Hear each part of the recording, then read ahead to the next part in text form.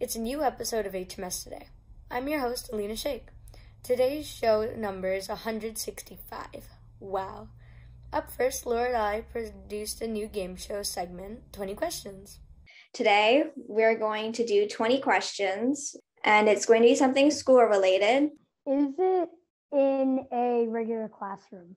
No, Is it a location? no, Is it something that you ride to school on? no. Is it a subject? It is not a subject.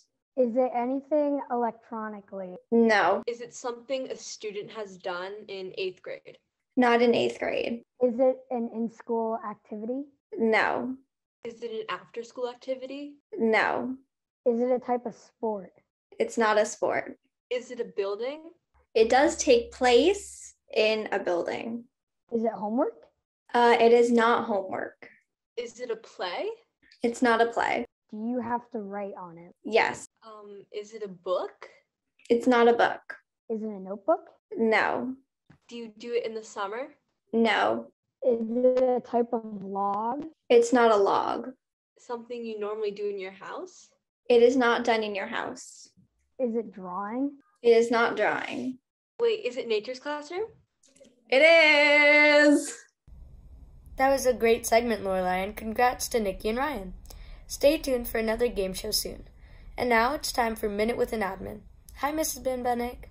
Hey there, HMS. We are approaching an important milestone in our year, April vacation. I love what this time of year signifies. Summer is coming soon. But there's a lot of work to do in the eight short weeks between our return and the last day of school. It's time to buckle down and get it all done. This year, there are changes for everyone. The first is that all students, those learning from your couch and those in the classroom, will follow the bell schedule from the fall. The important takeaway is that lunch is a little bit later for all of us.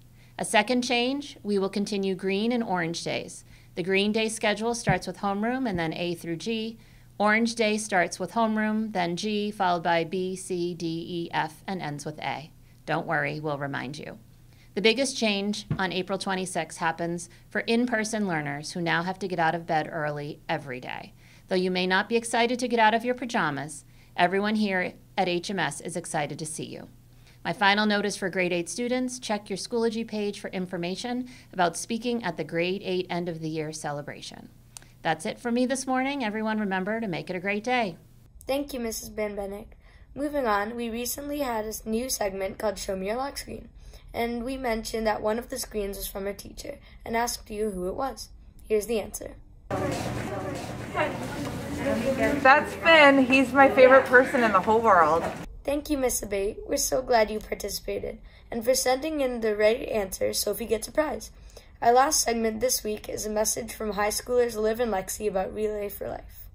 Hi guys, this is Liv, And this is Lexi, and we're here to tell you about Relay for Life. a super fun fundraiser to defeat cancer, and now is the time to join. You and a team can raise money up until May 15th that will be donated to the American Cancer Society. This year looks a little different due to COVID guidelines. We are opening up the event to everyone, whether you raised money or not. The event will have socially distant and virtual fundraisers, including a workout run by a professional on Zoom. Then a scavenger hunt through the town with relay prizes. We'll have Luminaria bags available to decorate to honor those who have passed away from cancer or were able to defeat it. Near the end of the night, we'll have a Luminaria ceremony and walk around Loop Road. To sign up, go to relayforlife.org slash hopkintonma and join as an individual or get some friends as a team. Enter the code word CASH to pay the $10 sign-up fee later. If you raise $100, the fee can be waived. Email us with any questions about the event. We hope to see many new faces there. And those who did it in past years back again. Always cool. And now it's time for birthdays.